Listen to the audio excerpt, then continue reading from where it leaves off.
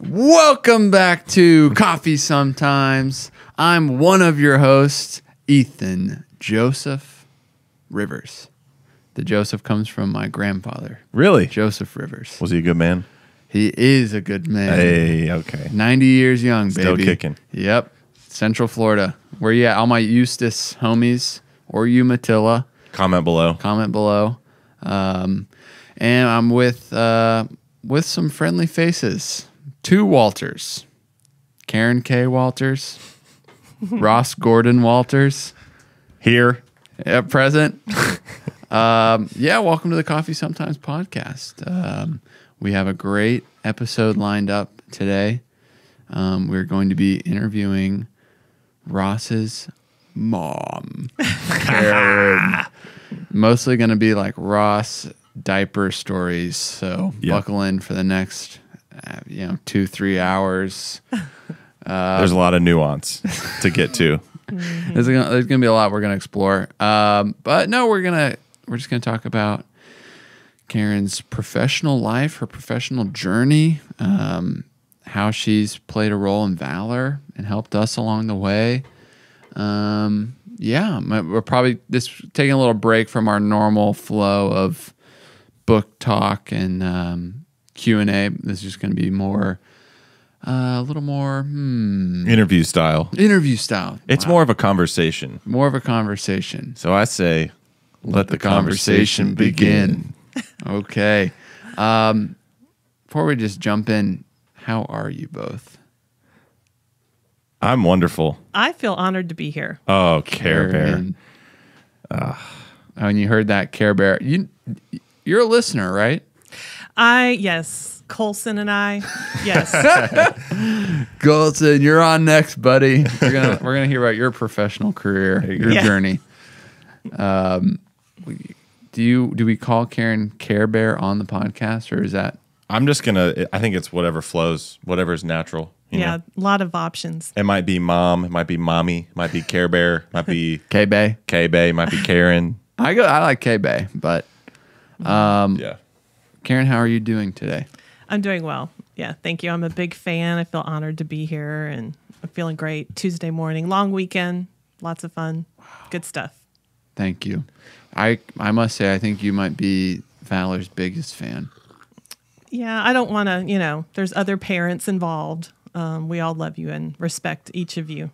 So Yeah. There's, yeah, there's no need to do this like weird like ranking thing. Ethan. Yeah. No, no shade to my parents, So. but Karen, I mean, you're you're in. You're in. yeah, I love all of you. I love listening to your voices. So I have it on in the background. What are we drinking this morning? Great question. Well, we brewed it up uh, together. Um, Yep. Sometimes we make pour overs. Sometimes we actually rarely make espresso drinks for us. for Yeah, it's true. Too Maybe- quick. Maybe next week. Maybe next week we'll make an espresso beverage. Um, this is just a batch brew of free throw, right? Free throw. 80% Brazilian peaberry, 20% um, Honduras La Unica, Natural process. natural process. I think it's probably, as far as iterations, iterations of uh, free throw, it is super, super enjoyable, super like mellow. Sometimes we'll throw on that uh, world famous Worka Sakaro anaerobic Ethiopia natural, and it makes free throw very like in your face, very progressive. But this is more like easy drinking. Yep. And for a day like this, I'll take it. I think this is more true to what free throw should be, personally, 100%. because it, it's got that fruity pop, but it's not a very high acidity fruity pop. Karen, do you like coffee? I do now.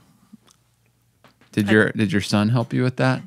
Or his, did he have nothing to do with it? He had something to do with it. I gradually, you know, got into it, but I do like the free throw. Free throw. Yeah. Wow. Yeah. I'm drinking this with a unique perspective this morning because after I dropped my kid off at school this morning, I went to the Human Bean Tell us more. Um, because I just love tasting coffee from non specialty coffee shops because I love to convert customers from non specialty shops to ours or just to like drinking specialty in general. And so I like to understand like sometimes like drink I was more excited about ordering that coffee from Human Bean than I have been in a long time. You were excited? Yes, I was I was really excited because Did you wait in line? th- there was no line. No offense to Human Bean. Hey, no. no. It was drive through. Well, that's why I was wondering because it was probably what, like eight? Eight? Was it eight? It was nine o'clock in the morning. Is that what you mean? Yeah. Yeah. It was no. It, It was like you- eight. It was eight thirty. Yeah. Eight thirty. Anyways, so I love to have coffees on our menu that are a better version of what people are used to drinking, you know, in a more commodity grade context. So that was exciting for me. Um, but anyways, You don't want you want to tell us what it tasted like? It tasted. I mean, the coffee on our menu that is similar to it is Workers Comp, which is our dark-ish roast, but it's a, a really nice coffee that we roast uh, a bit darker. Um, And I think in contrast to Workers Comp, Workers Comp has more sweetness and a little bit more acidity, but the main thing, the main like impetus behind Workers Comp is it tastes like a dark roast without all of the negative aspects of a dark roast. And I think that the coffee this morning had negative aspects to it, like kind of this uh, almost like stale cigarette thing going on. Not that I smoke cigarettes, mom. I don't do that. Good catch. Oh, I'm relieved. Yeah. so just yeah. But um yeah. But you're you're one to indulge non-specialty coffee, Yeah. even like just if you're in a scenario where you would want coffee, Yeah. you'll drink whatever is available. Yeah. Karen, would would you just drink any coffee that is served to you, or do you not routinely need coffee so you're you're a little more choosy?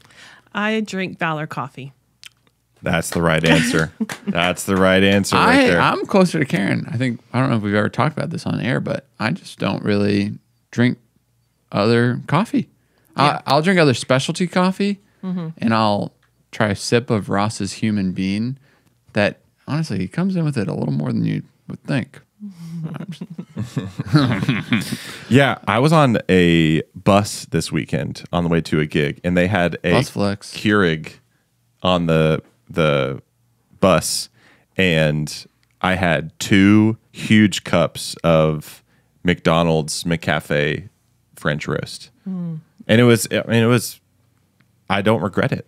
It it's just a different product. It's a different category for me. Um but I say we jump right in to getting to know Care Bear. What do you think, Ethan? I'd say you introduce your mother. Tell tell us a little bit of what what what qualifies Karen for Well- this podcast. If if somebody was to ask you, which somebody is, and it's me right now, Yes. Mm-hmm. ask you what it is that you do for work, what would you say?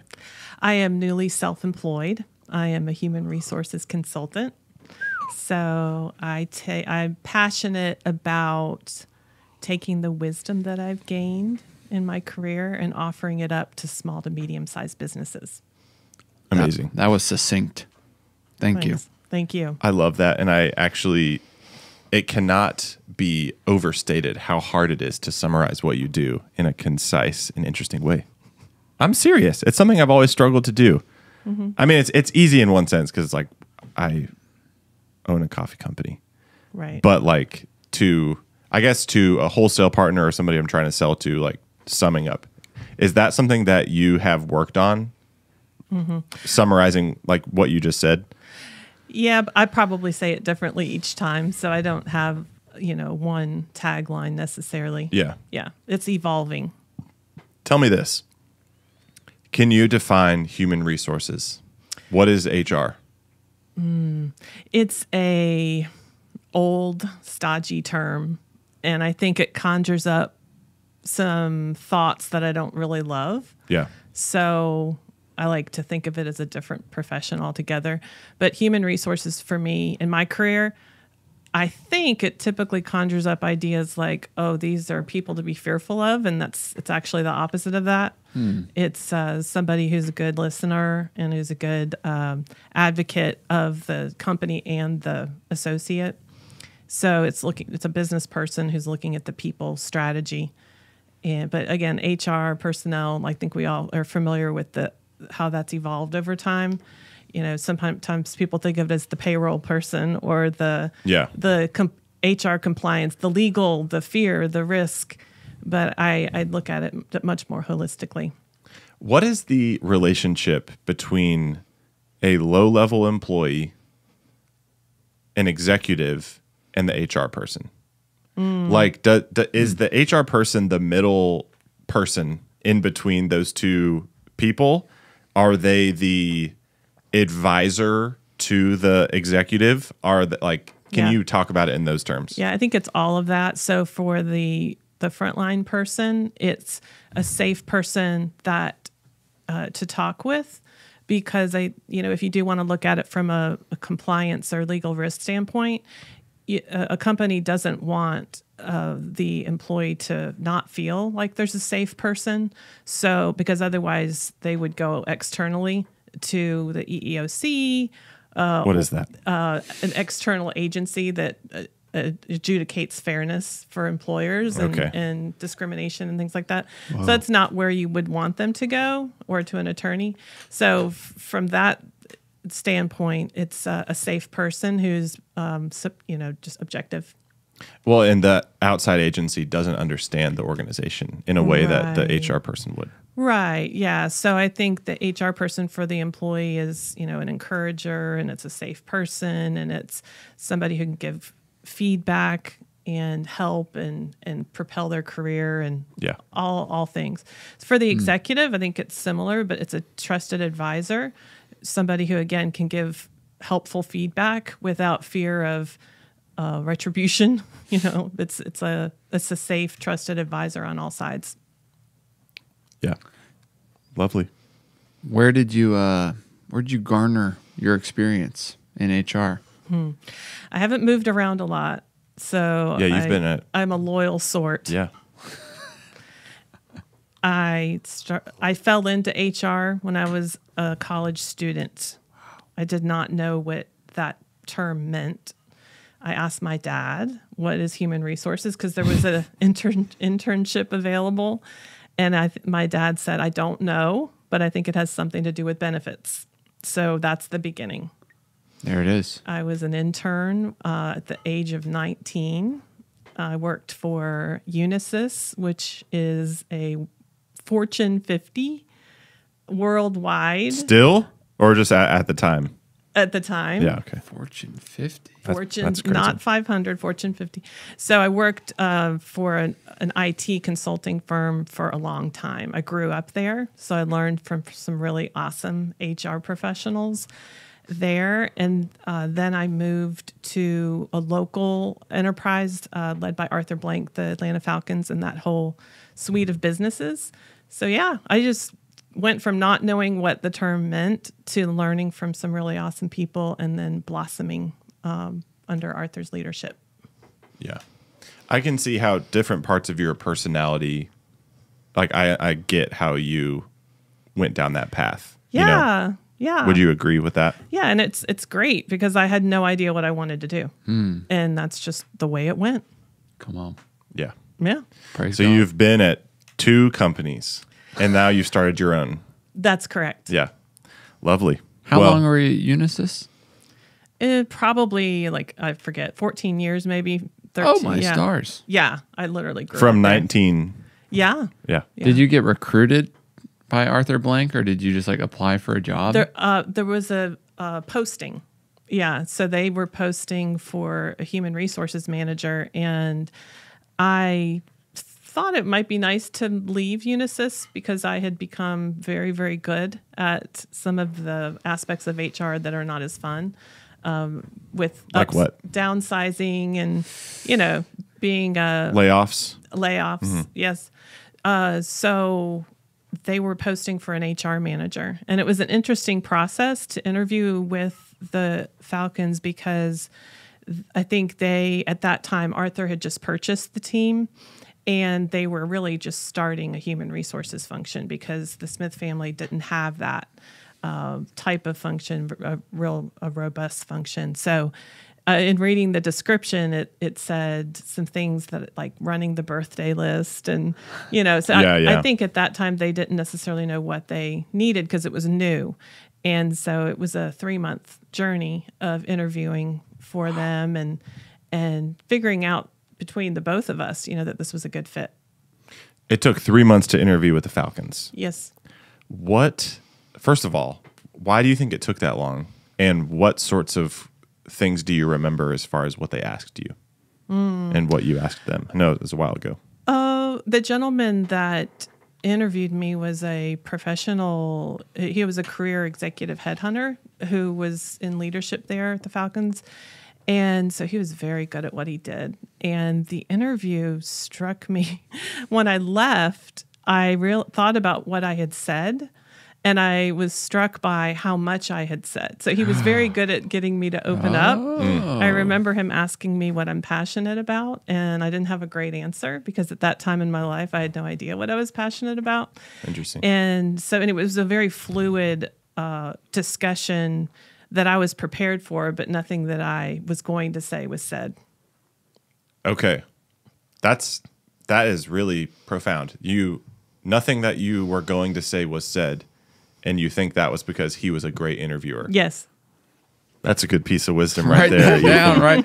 Well, what's interesting to me is that he's this guy's a pro, and it still took three months. So it's there's got to be so much more than just like gut feeling, right? Oh gosh. Right. I do think I was the first person that um, they interviewed, and I was just speaking with this gentleman literally like three days ago. We were catching up, and Oh wow. yeah, yeah. So he probably had some reservations about me because I was coming from a place that where I didn't have feel a lot of passion. Uh, but through that process, um, it was much like a courtship during that three months. Meaning, I and maybe this is some to advi- advice to some uh, people out there who are on the job market is I courted them and I sold myself over that three month period. I I wrote up, I'll say white paper type thing documents and proactively showed them what I thought could happen uh, in the in the function and in my role, almost educating back and forth. And so I feel not to boast, but I feel like I earned it at the end of the three months because I was um, sharing, you know, even quotes from feedback I'd gotten over the years, and Nice. it- so it wasn't just one interview. Yeah. Well, you've earned everything you've got in your Mm-hmm. Life, Care Bear. You're Thank you. amazing. Thank you. Um, I want to. There's so much I want to talk to you about, Okay. Um, but and and a lot of it's about the things that you are doing in your business now. Yes. Because I mean, you've just taken this like classic BA route of you know like getting all this experience in these respected companies and then taking all of that and applying it in your own way to other people and starting your own business which i just think is amazing um, but before we talk about that you i want to talk about what that like the arthur blank family of businesses was like when you first started versus now like with the mercedes-benz stadium and you know all this crazy growth. I feel like i've heard you say over the years that there's they were like to, two totally it's like same values but they've grown a lot. And it's hard for me to wrap my head around like what was an nfl team like in the front office like 20 years ago you know versus now Yeah, it's a good question. So when I joined, it was a small group of people because an NFL team is there's 32 teams, but each team, even though it feels large and the visibility is large, it's a small group of people.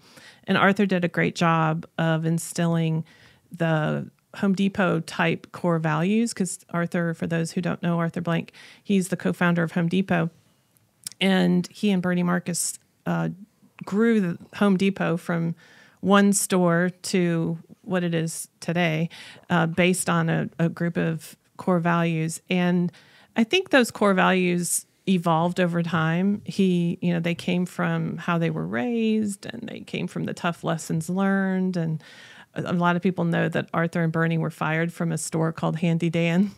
And uh, not many people have heard of Handy Dan, but they've heard of Home Depot. And so, Yeah. Yeah. So they moved on from that and grew Home Depot into what it is. And and so we were the beneficiaries of that wisdom because Arthur knew he wasn't finished when he left Home Depot. He wanted to do a lot of new things and he wanted to buy an NFL team and he had already purchased a couple guests or a guest ranch rather out in Montana. And so we were the beneficiaries of that wisdom in that the NFL team was run, it was really transformed by those philosophies.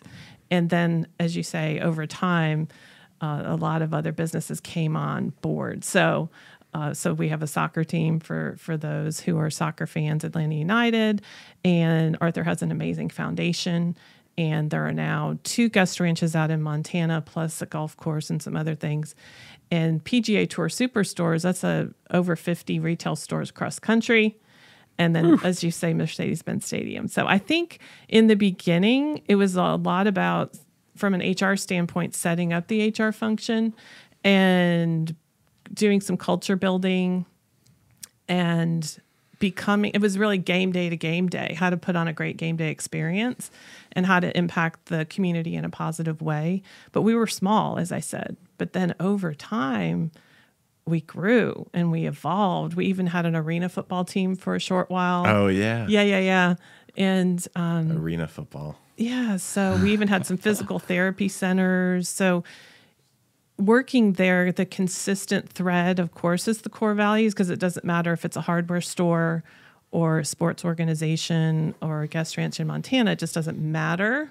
And or a coffee company. It's those are the core values. Because the people are running all those things, right? Is that why it doesn't matter? Yeah, it's because you have to have a, a compass through which, you know, to make decisions and and as you guys talk about the guardrails of behavior. And so that it just doesn't matter what industry you're in. And so I think it was just a lot of forming uh, when in the early days, growing and innovating and collaborating. Those are my biggest memories of working there. Are just the profound innovation and profound collaboration uh, within that culture. And but the big lessons learned, and I think the stuff that inspired me to do what I'm doing right now came when Mercedes Benz was contemplated years ago. And if you think about it, it's it's the culture, the risk of culture dilution, because we were the size of a pea, and then we were starting or you know and operating a stadium, which is basically like you know like a shopping mall. Like you have plumbers and you have Yeah. engineers and you have uh, sound and and all of the, uh, the just the physical aspects of running a facility and all the people that make that happen. So it would be like Valor, probably not as much like this, but Valor acquiring Starbucks, and then you want your culture to be. How do you do that? Yeah. Mm. Yeah. Can you define culture dilution? Culture dilution would be and it was the same thing they had at home depot. I'll take that as an example. So they had one store and then they had two stores and then they had 10 stores or whatever it was. And there was a, a beautiful culture that was forming there. Same thing with the with the atlanta falcons. We had a beautiful culture small group of people pretty easy to build that and reinforce that and and strengthen that. But then as you have rapid growth either with Home Depot or as we did with the Blank family businesses, it's like, okay, we have a flood of people coming in. Yeah. And how do we how do we grow well and how do we strengthen our culture and instill our culture rather than have it diluted and say, oh, look what happened. Boy, mm. boy, this is not a special place at all. Yeah. And I'm sure it's not always just black and white of like, oh, this is culture dilution now, or this is awesome, but there's ebbs and flows. Can you think about some practices that you guys instilled that beefed up culture and maybe a couple things that you look back on that were actually agents of culture dilution? Sure. Yeah. So during the process of contemplating, designing, and then opening the stadium, there were initiatives that we engaged in to keep everybody involved. Because even at that point there was rapid hiring going on. And even you know at the very senior level uh, some new leadership all of a sudden you know at, at very, very key roles. So this is a cool example um, and maybe something even for your future cafes to think about is we had uh, an innovation lab. We we went out to an innovation lab, our entire team, um, and we you know you can imagine the post-it notes and the the markers and and all the things, but we broke all of our associates into groups, and it was all about what should the stadium look like, what should be the inner parts, the inner workings of the stadium from a functional standpoint, and so we we organized into rotating shifts of okay um, what what should um, the back of house look like et cetera. And so we were innovating getting making people feel engaged and involved in the construction and the design of the stadium. And then even after that we had sort of a social media uh, touch point where associates could post pictures like if they were out at Disney World and they saw a cool turnstile they Oh, could take cool. a take a picture of a turnstile and post it in our social me- internal social media site. So if people felt like they were designing the stadium. So I think that was one example of from a innovation and collaboration standpoint, how can we as we grow make everyone feel involved because not everybody was in, was involved in the architectural meetings. Yeah, of course, yeah. right? But we were in in that way, and so then I think when I say culture building, it, a lot of it is celebration and recognition, and so as we grew, uh, huddles uh, and uh, calling out when people are living out a core value, celebrating that in a unique way. We we gave uh, footballs uh, that had the the associate's name on them, uh, val- values and action awards, and it, it was a visible, exciting way of saying, you know what, as we grow, look at how we're living our core values. And, and and so, but with the intentionality of doing that every day, because culture building for me is it happens every day. It's the language that you use and it's the behaviors that you reinforce and it's all the things that you celebrate. It's the teaching moments. So i think we did that really well as far as dilution um, you know i think you can never do enough in the realm of leadership uh, training because as i said we were growing so fast. Uh, just to throw a number out there we across all of our vendors we had to hire 4000 people right before the stadium opened So I don't even know 4,000 people. and no, I don't either. So we we did that, and we you know there were some really smart people that helped us do that in a really creative and fun way, where we did group interviews and very celebratory and and really uh, getting people excited about joining the organization. So, but we were hiring people at all levels, very senior levels, uh, mid management levels, and we know the importance of those roles because that's the face of the company is whoever your manager is. That's that is the company. So i think over time rapid growth you know you can't do enough in the realm of core values training and you know feeding that in. Imagine if we hired you know 15 more ethans and 15 more rosses and 15 more rileys you're each going to have a different different spin so i think not that hmm. you have to be clones of one another but i think that thread of core values is really key Okay. There's a lot that you said. That was amazing. Thank you. Mm-hmm. Um, have you ever read the book E Myth? i have not You should. okay It's really good. It's one of our favorite books. In it, in it, we read it um, right as we were starting this. Mm. And one of the things that he talks about is having a good mix of being systems led versus people and talent led. And like what I'm hearing in the the the progress of when you came onto the Falcons and it was this small group of people that were, you know, like you're all on the same page and the the organization is working because of who is specifically working there. And it's like eh, you, you have this group of tight knit people that's small but then you had to scale up and over the years i mean you had to hire more than 4000 people over over your career obviously and at that point you're trying to take the magic that was there when you came on and like the the people that were there when you came on. I'm sure some of them are still there, but probably a lot of them aren't, right? Right. Including you. Right. And so at that point, you have to not just rely on a few talented people to make your organization great and functional and magical and inspiring, but taking the system, if you will, or the framework, uh, or the the the things the like we talk about this like a, a grapevine has to grow on a trellis, right? Like a a structure that is in the vineyard in order for the organic growth to happen, and the trellis or the table or whatever that is that the the grapevine is growing on is are the values and the the guarding principles that scale the magic Oh, I love that. you know and You can have that. That's a freebie. It's very beautiful too. Um and so i just find that so interesting that you know like in, in our company we have a lot of really talented people Mm-hmm. and we have a lot of recognizable faces. And there's customers that we have that come back to our cafe every day to see specific people. But i hope they stay with us for, forever but they're not. Mm-hmm. Like the reality is they're not. And we won't always be able to keep everybody in the company.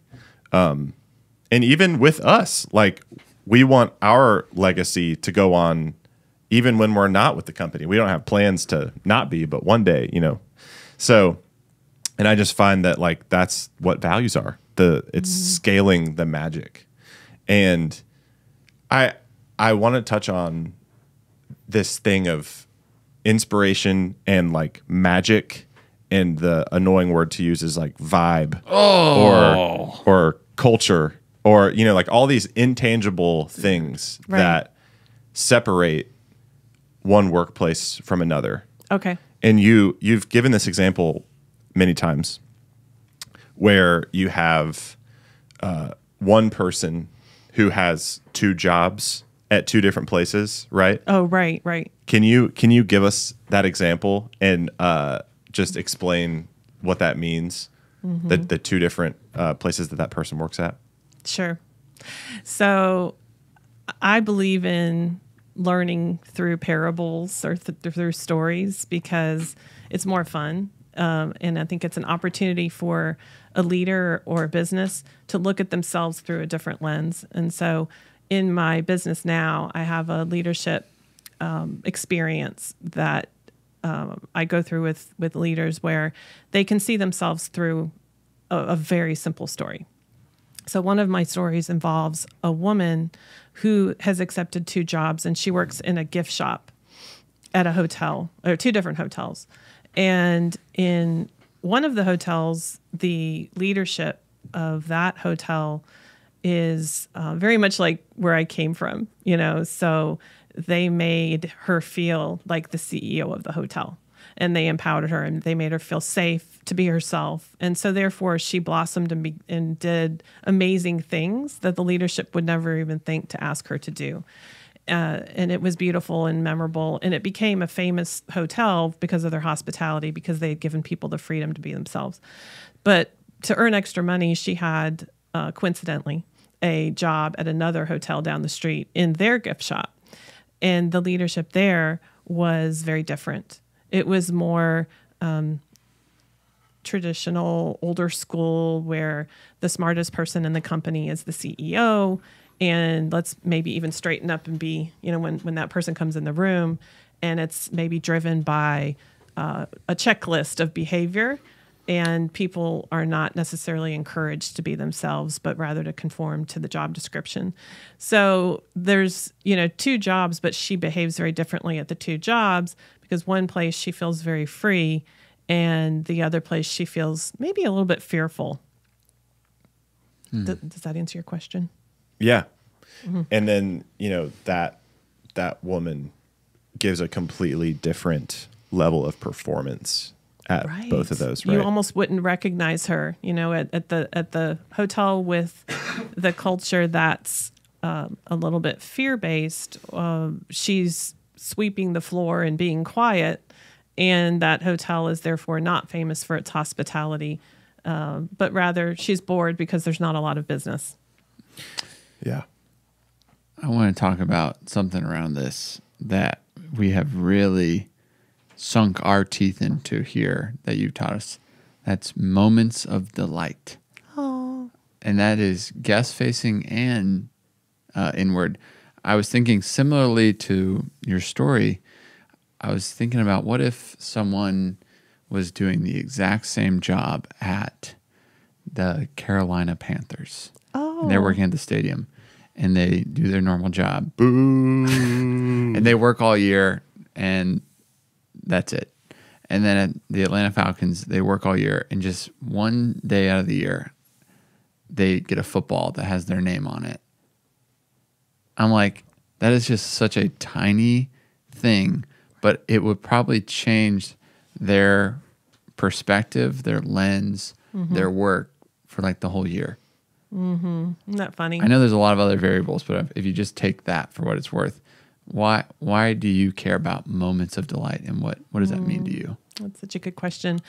Yeah, and, it, and it's funny. I recently saw. I've been spending more time on LinkedIn lately.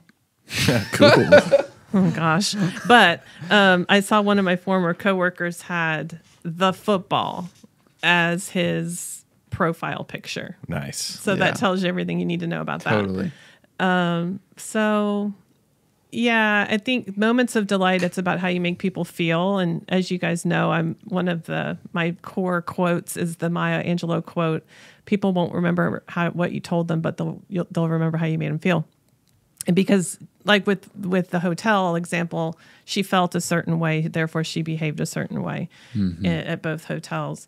And so, moments of delight. Uh, I guess I'll just share my definition of that. Delight for me is is a situation where somebody is surprised uh, by their experience that they've had, so much so that they're compelled to tell another about the experience, and um, in, in a positive way. So that could be from a customer standpoint, where somebody comes into Valor and you guys do this so well. Of doesn't have to be huge and heroic necessarily, but they're surprised. Uh, It's something that happens so much so that they're compelled to tell another about it.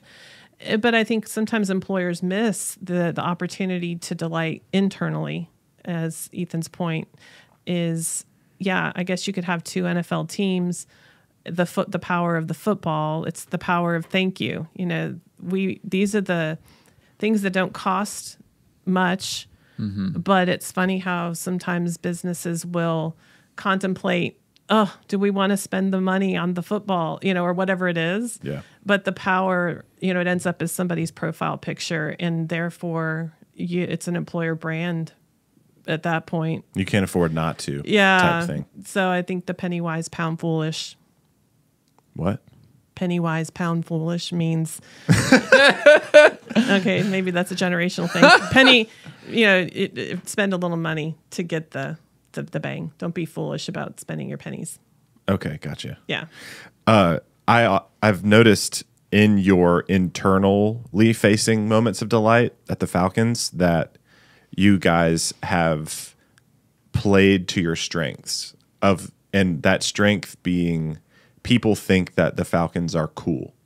Okay. You know, because like it's like almost this like celebrity level thing that like oh I work for the Falcons, you know. And like that whoever that is that put that as their profile picture, they want people to know that they work for a like notable celebrity worthy organization that's like oh it's so cool like I because you know know, there's the yeah. players and there's all this clout around it Yeah. and I think that you could use that in a maybe selfish way, or you could use that to reinvest in mm. your employees. You know, like people should be proud that they work for such a a noteworthy, you know, Yeah. organization. The back to the example of the two employers. Mm-hmm. So the employer that is not doing it right, the one that is you said fear based and like very control based and they're not empowering that employee to be themselves. I forget all the other things you said, but imagine now in your business that that that employer brought you on as a consultant Okay. with Beyond Culture, which is the name, right? Yes. Beyond Culture Yes. Um, what because i i can get in that guy's brain, right? I understand. We all can. And the funny thing is that both employers can be driven by excellence and bottom line and the business running well, but it's being expressed in these two completely different ways. One that's bringing life and one that's bringing death. And so it's like they, they both care about excellence probably equally. They're just getting to it through different hmm. means. Hmm. And so if you were consulting with the employer that's not doing it right, and you've got all these employees that are scared around the boss and they're uh, you know whenever the boss comes in they they tighten up but whenever the boss leaves they don't do a good job because they don't like the boss where would you start when you walk into like a, a crap show like that you know They said, Karen, help us. Well, I think that's key. That that somebody there's a pain point and a desire, you know, so a desire to to change things. Um, so that very question is what I've been contemplating for the last few years, honestly, because in my spare time I would pull out my laptop and ask myself those questions: Is what how could I help leaders ask to ask themselves some some questions that they could come to their own aha moment? Uh, because this isn't about telling somebody something but rather to get them so that's why I, I like the parables is because you can take your eyes off your own business for a minute look at a literally like a cartoon that I've created myself um, and see see themselves in the cartoon. So, oh, I have to tell you this really quick. I had a very surreal moment um, several months ago where I decided to use the cartoon stories in a in a pretty high profile opportunity where I was standing in front of leaders from around the world that had been flown in for this workshop, and I you know kind of doubting myself about using these parables, but they became the powerful language of the day. Yeah, they were are these leaders were debating with one another and saying, "You're like Hotel A, you're acting like Hotel B, you're Claire, you're John, you know, whatever it was." Whoa. But because they, it's easy to s- put yourself in the story, and we've all worked at Hotel A, we've all worked at Hotel B, we've all act like those leaders. So uh, I forgot your question. where, whenever you're walking into that hotel b Oh yeah, that's yeah, not doing sorry. it right where yeah, do you start Yeah, so I think this. I have a five week, um, which sounds like a lot, but it's actually just five hours spread out across five weeks, and it's called a visioning experience. And so if if I'm working with a leader who wants to go on a journey of just exploring the their culture of the organization and maybe a few ways to improve it, I've designed a curriculum that where I don't do a lot of the talking, but it's more asking them questions based on these the tenets of these stories. And so one of the, the questions that I ask is, uh, what do you what do you imagine is driving Hotel B? Hotel B is the one, you know, with the the fear based culture. And so what are some possible answers? I ask them, like, what's driving that individual? And sometimes the answers are, that's just the way they were they grew up in the business. They that's just their experience, or it could be a need to control, as you said, or fear or insecurity, you name it. But I think what I'm finding in my business is that I go through this experience with them, but then it's a not it's it's a long term relationship. So I can then use the learnings that we had during those awesome conversations that we had over the five weeks to help in the long run because this isn't a, a sprint it's a marathon hmm. It sounds like basically getting them to agree with you on what their company can and should look like It down is- the road. It is inspirational, yeah. And I, uh, I guess I'll, I'll say what the beyond in the in the title means. It's it's exactly what I said earlier. Is people can will surpass your expectations. They will go beyond, way beyond your imagination of what you could even think to ask them to do when you set them to feel up to feel safe and inspired. Um, that they're just going to go impact the lives of people in, in each day and do it in their own beautiful way you you don't know what you're going to get. It's going to go beyond your expectations. I love that. It's one of my greatest joys in our company when when people go above and beyond what we expected, which happens like every day. It's Oh, amazing. yeah. Oh my gosh. one of the things that you probably there's probably I mean there's so many things you've taught me, but the thing that you have always said is when somebody asks you to do something at work, always do it and then a little bit more. And it doesn't have to be much more. It can just like always surpass the expectation by a little bit. Mm-hmm. And I have carried with carried that with me in every job I've been in. And and the jobs that I've been in before owning Valor, like I there was this one time it was my first it was my job at uh, Midland Station, my first coffee job, and the manager like asked me to sweep under the deli uh, bar Fridge. fridge and it was disgusting. And I did that, but I thought about what you said and I swept the whole bar and the whole floor. And she was like, and she knew I was starting a business at the time. She was like, "You are going to be successful because of that. Like that you're you're always willing to do more than people expect." So, in your time at, at the Falcons, what was because okay, before I say that, I am also amazed by your work ethic. Thank you. And I do not just say this because you're my mom, but I have a more insider look on how you spend your time. You are constantly working. no. I see it. I see not, it. not constantly. Like I, I think you. I don't mean to say that you should give more time to your family because you hang out with us all the time. It's amazing.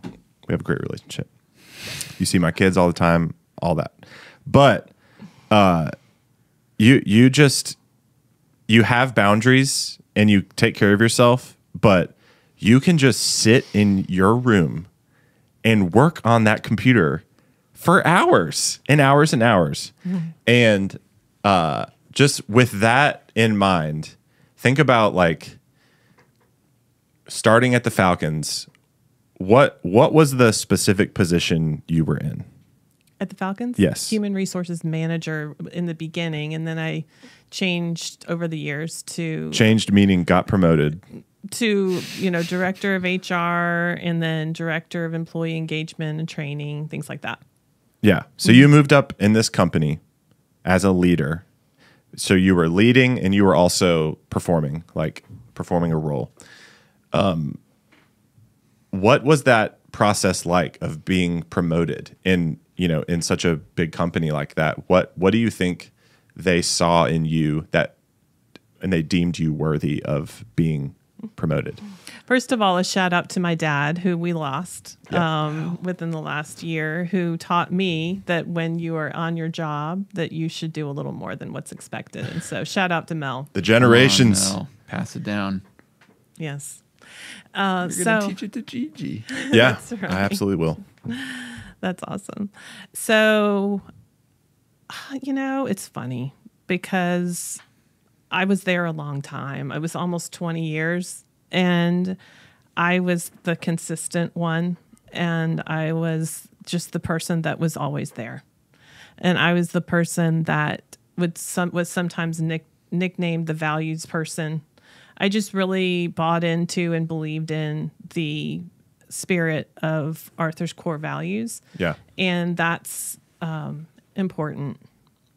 And I'll tell just a, a funny thing because when I was working for the Falcons, there was a, a short period of time, maybe three or four years, I forget, but it made sense in that moment for a brief period for me to be in a more senior role. So I was reported directly to Arthur, and that didn't make sense after that because our growth, uh, you know, didn't have the necessarily background to be in the most senior position of that growing, massively growing company.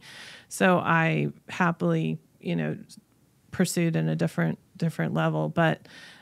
I I think, good boy, I le- learned a lot there too, right? In that in that time of reporting directly to him. But I think the reason that I was there a long time and the reason that I was pretty well liked is just the consistency and my approachability, my motives were good.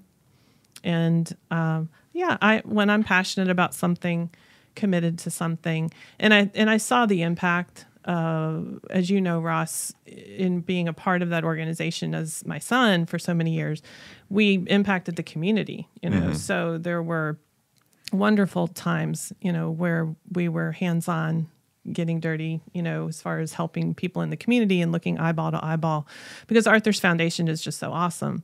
And, uh, or, you know, I even had the, the incredible experience of going to Montana and hosting groups of well deserving um, associates uh, out in Montana. And so Arthur was some, is somebody that just walks the talk. You know, it's not core values, as we all say, they're on the wall. But when he spends an incredible amount of money to send groups of people out to Montana so they can get recentered in, in the Paradise Valley Mountains, you know, that's an incredible blessing. And the reason I got to do things like that was because I was consistent and I was rooted in the values. Simple stuff. Take note. But okay, your time. You can tell your time at the Falcons is coming to a close, right? Yes. Why start a business so late in your career? Mm-hmm. It's a risky thing to do, Yeah. you know. And there's there are consultants that are doing like you're not starting a completely new business that's never been started before, Right. But I can't think of anyone I know that does what you do at the same time. Okay. So it's like it's a my point is it's a risk. Mm-hmm. Why start another business late in your career versus like you could probably get a job mm-hmm. anywhere you want, you know, doing what you were already doing. What mm-hmm. what was that decision like? I think it's purpose. I think uh, passionate at this time in my life of sharing, as I said at the start, you know, imparting the wisdom that I've gained and sharing it with small to medium sized businesses who wouldn't maybe normally have access to such. And so I have thoroughly enjoyed it and I'm a person of faith. So I, I've seen that this is, I mean, I have confidence in the success of the business. And so, hey, why not? Why not pursue a purpose? Why not pursue a passion? And it's just so enjoyable to help extremely grateful people. Hmm. Wow. What motivates you to work so hard? Well, there's the the practical aspect of that, but there's um, purpose, and I think it's probably the same answer is the joy that comes from helping people. Um, I mean, the customers that I have so far are extremely talented at what they do. They do things that I could never do. Uh, but I think sometimes I'm the missing piece of the pizza that, you know, it's like, okay, well, let me help in this way. Let me share a few things on the people side. And as I said, they're so grateful and so hungry that that's a lot more enjoyable. You Yeah. know, I mean, I had an awesome time working for Arthur and all of his businesses. And you know, I mean, we were yelling our heads off at some really cool football games and we we did some really fun things. And it was an, I'm incredibly grateful for that time in my life. But in some ways, this is more fun. Yeah. Can you share any like transformation stories or testimonials of your your new time? Yeah. I think I won't list the names, but I, I would just think of businesses that it's a bit of an esteem boost, you know, to all of a sudden now have a set of core values that they didn't have before that were crafted based on input from their their team members. And what I do is I, I listen to stories that the actual members of the team, I ask them, when has this organization been at its legendary best? in five different areas. And so I listen to a ton of stories, ask them a ton of questions, and then I go in on my computer and crunch all of that information. And then I work with the business owner to say, you know what, you may have had these core values and maybe you copied them off of Google or maybe your competitor or whatever, but let's figure out what the secret sauce of this company really is. And so by by watching that process, there is an esteem boost for the business to say, wow, now I have a framework. I think you mentioned, you know, the vine and the trellis. Now I have the trellis. Now I have the guardrails. Now I have the compass. Now I have whatever you want to call it through which I can make decisions and that I can hire people based on these values. I can ask really great interview questions based on these values. I can onboard people in an inspirational way based on a higher purpose. I can, it's, don't you think people, a people strategy can be very chaotic and random and reactive and fear based because people people are complex and sometimes people don't know how to handle navigate make decisions about people. So by giving somebody their core values and then a framework because uh, that's what I do basically is the employee life cycle from the beginning of the employment to the end of the employment all the way around the circle is I help businesses activate those core values in a systematic way so that they can build a culture that's amazing. So I I, I think the success story would be all of a sudden the business has these core values. Their website is revamped. They have a core values wheel hmm. uh, that is on their website. They have an employer brand. They know what questions to ask. It's very empowering. So then they can focus on doing the awesome things that they do in their business. Yeah. There's something that I've heard tons of people say. And it's that, yeah, I love running my business, but the by far the hardest thing and like honestly the biggest headache is my employees. I mean, have you heard people say that? Maybe not those exact words, but I, you know, I, I tend to look at things in the opposite way, as I know you do. Is I just turn that upside down and I say, well, you know, they're an opportunity. I, I like to tell this one little story because I think it just brings all of this to life. Is at the stadium, as you guys know, we had an associate that felt so safe and so inspired by the orientation program that we took sent people through that she sang on her shift. She sang songs from the beginning of her shift to the end oh, of her yeah. shift. I remember her. And she was nicknamed Singing Linda, and and uh, she didn't ask permission. We would never ask her to sing. We didn't know she could sing, but thank God she did it because yeah. she became a fan favorite. And so at the top of Escalator One, there was Linda singing her unique songs that she wrote about the Atlanta Falcons, about the Atlanta United. That's amazing. And the and the fans felt were dazzled and and and we loved it. So if you multiply that times 4,000 people, they're each going to have their own thing. Some will hug, some will have a high five, some will, you know, greet a widow and give her a a t-shirt because she lost her husband last week. You know, whatever it is, but you have this beautiful tapestry that is a fan experience. We throw that term around fan experience or customer experience rather what that's how you have an awesome customer experience is by unleashing these people and empowering them to be themselves. So yeah, they can be your biggest headache. Yeah. But I look at that differently. Okay.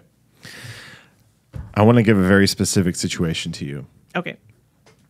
First of all, before I do that, I I think that is what makes magic happen. Is like you just said. Like mm-hmm. just getting people to the place where they act as themselves.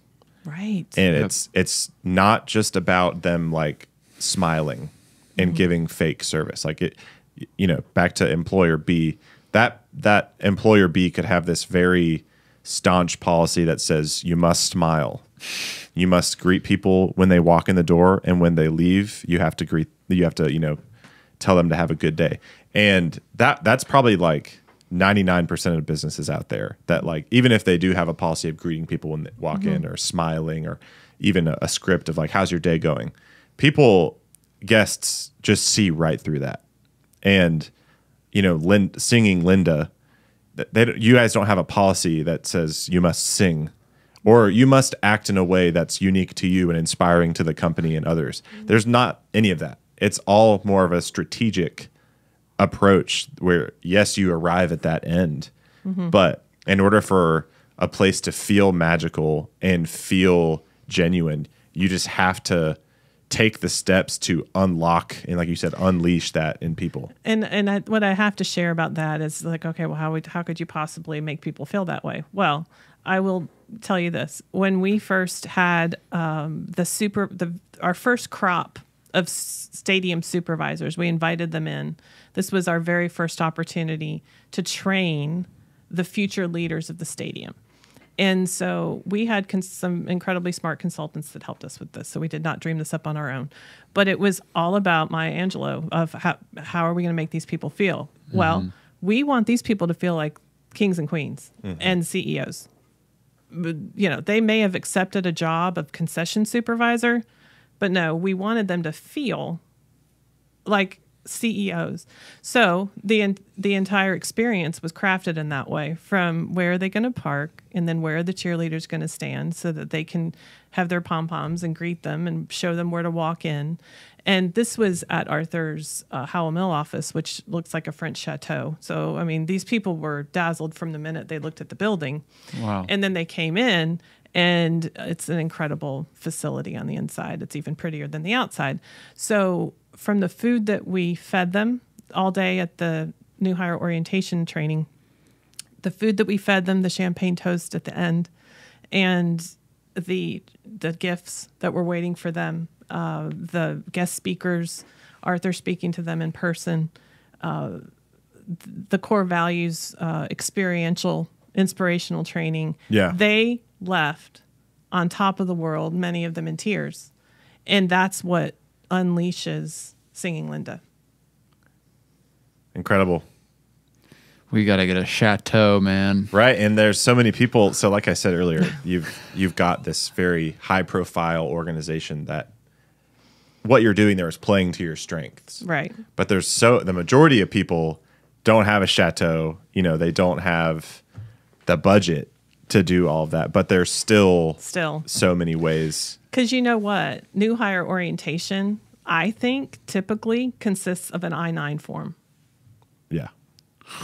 Usually, yeah. Boring. And and so I tend to look at that as like, what's the higher purpose of this organization? What gets people out of bed in the morning? Why does this exist? I don't care if you're a dry cleaner or or a hardware store or a coffee company or whatever. There is a higher purpose to this. And so let's inspire people to step into that higher purpose and live out the values. So I want to talk about uh, employee drama, okay? Because th- this will probably be one of the last things we talk about. We're almost out of time. Let's end on a drama note. I, Yes. I'll have an ending question. Okay, great. Okay, cool. Awesome. So whenever I hear people, business leaders say, I love my business, but the thing that's the biggest headache is the employees. A lot of the times, what they're talking about is peer to peer conflict. And peer to peer conflict is inevitable. It's, it, and then we, we've dealt with it. I think that we have definitely seen a very easy version of what most people see. Um, but as an HR person, you've got two people that have a conflict and that they are in your care, right? And they're peers. There's uh, one of them has hurt the other person emotionally, or there's communication issues, or you know, but but and they're both like, for lack of a better term, complaining to you about the other person. Mm. How do you navigate that? Mm-hmm. because we've tried a lot of different methods, mm-hmm. and I, I think all of them have been great. You know, like no, it's I, I, I learned from you in this regard. it's all it. Like I said, I'm, I'm not saying we've had a lot of problems with this, but it's just inevitable that this will happen wherever you mm-hmm. work. So you know, we've tried like getting them together. We've tried because you don't want to be like, hey, this person is is saying all this bad stuff about you. What do you have to say about it? And then that person is like, oh well, and then you're just this middleman. You know, mm-hmm. how how have you dealt with that in the mm. past and seen the best outcome? Probably all of those things. I think uh, this is not rocket science, but I think a lot of it comes down to motive and seeking first to understand. So, as humans, we we tend to uh, fill in the gap with a negative, and so we assume a negative motive. But then later, you know, when we're given the opportunity to hear somebody out, we realize, oh, maybe I was I was too quick to assume that motive like maybe the motive was better than what i thought. Um, and so i think giving space to hear each other out but maybe that's after talking with each person individually. People want to vent people want to be heard. Yeah. so giving people the opportunity to vent be heard uh, let's look underneath peel back the onion look at the motive and and so maybe it's talking with them separately and then and then giving them some time together to realize that hopefully the motives were good and uh, seeking first to understand is just something that I say to myself all the time is like let's let's ask some good questions let's ask questions before we tell you know and I think nine times out of ten by asking good questions giving people space to talk looking for the motive for each individual person, you're probably going to be able to navigate that pretty well. So I think the the, the leader or the HR person, with whoever it is, is is setting that up, facilitating that. Probably not just like I mean, sure, there can be some coaching or life experience that you're sharing. Like, hey, and I tend to do this a lot. Is but I've been there. Boy, I've done. I've I've been sat right in your seat, and I've made that. I, I've thought that. But here's what I learned from it. Sometimes that helps so, but you know what? I, I've dealt with some of those situations that are probably some of the most difficult ones uh, that I've ever dealt with, involving very like years and years and years of misunderstandings. And then I've dealt with ones that were pretty simple. But, you know, sometimes it does end with people not working in the same locate in the same for the same company because of an inability to, to get along, you know. So despite everybody's best efforts, despite, you know, rounds and rounds and rounds of of trying, you know, sometimes the damage can be so great. And that's very sad, but the business can't be crippled by that Yeah. Hmm. inability. Hmm. I I have always loved how you first of all you're very wise, Thank you. but your wisdom does not come from just espousing principles and philosophies and uh, all this life experience and stuff you've had. It mm-hmm. comes from truly being effective, which is asking the right questions and getting people to uh, to come to the intended outcome. You know, it. You, I just see you as you don't you don't feel the need to be someone who just gives speeches and monologues. You you're I think you, the reason you're so effective is because you don't do that. You can do that. And you do do that sometimes when it's necessary, but you never need to. Well, I appreciate that, and I it, it really comes from experiential learning and just feeling passionate about some powerful truths that I've encountered in my career. One aspect of this that I think we've carried from you is your emphasis on objectivity Oh, uh, in situations because the imagination is so powerful when it's charged with a lot of emotions and you can like hear a story and it's like and it was like this and they were saying like this and it and it was like this and this and you're like wait wait wait, wait. what what actually happened? What what was what were the words that they used that was said? And then it's like oh man this situation just went from like a nine out of ten to like a four out of ten. I'm like all right I think you just filled in a lot of blanks here. Oh, that's good. let's start from here and mm-hmm. then start seeking first to understand on those That's words. That's really true. Yeah. so thank you for that. We've Wow. We've used that a lot. Ross Ross is very uh, good at that, and even reminded me of that too.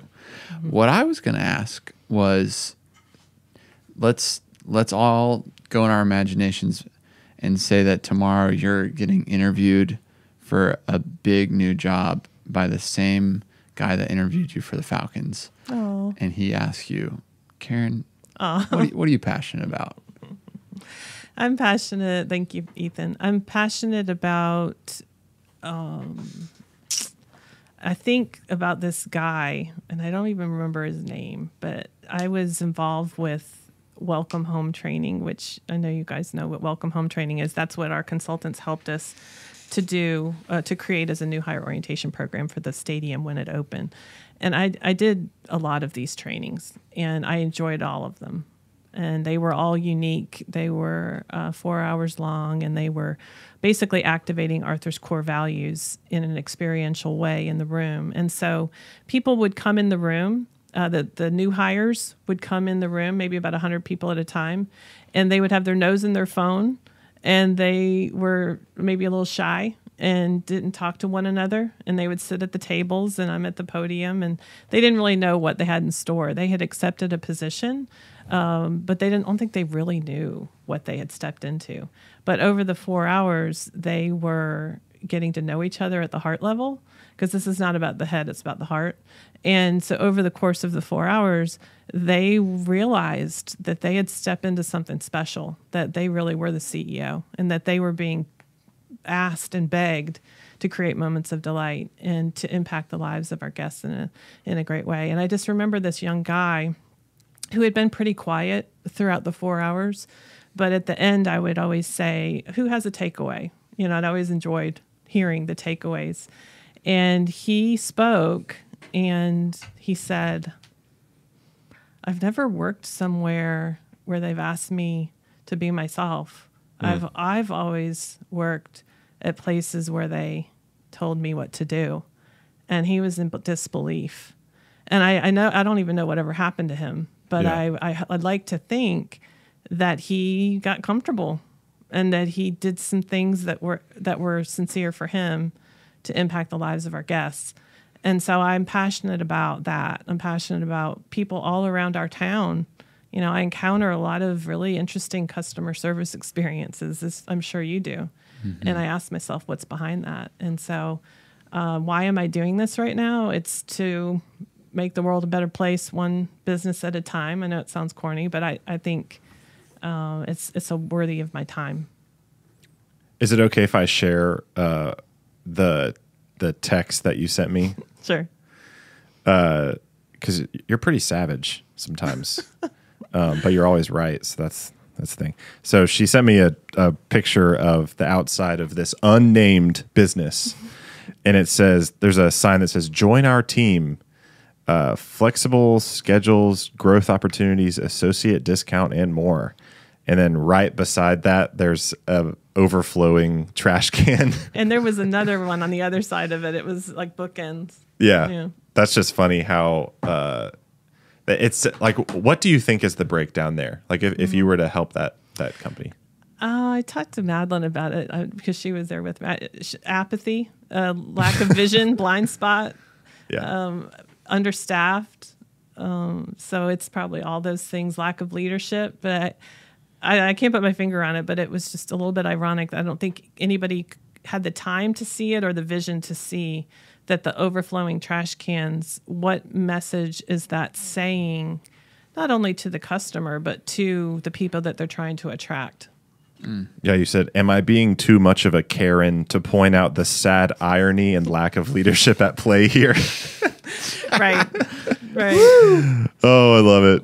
Uh thank you so much for coming on. Thank you for having me. The you guys do coffee an awesome sometimes. job. You, you're doing a great work uh, through Thank Valor, you, uplifting people through coffee. That's yes. right. Can you please come back on our show Oh, sometime? yes, as long as Riley's here too.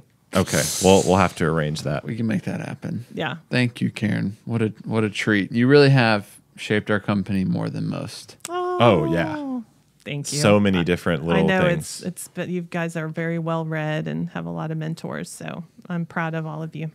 All right, guys, Riley from the future here. I just sat down and edited this podcast and had a really good time listening to it. So, thank you to Karen. Uh, definitely one of my biggest idols in life. Uh, we appreciate you being on the show and we love you so much.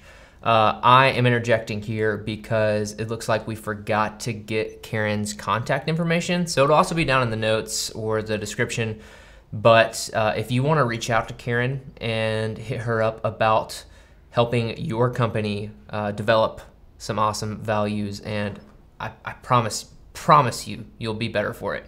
Um, you can reach her by emailing info at karenwalters.com or just by visiting her website karenwalters.com. That's K A R E N W A L T E R S.com.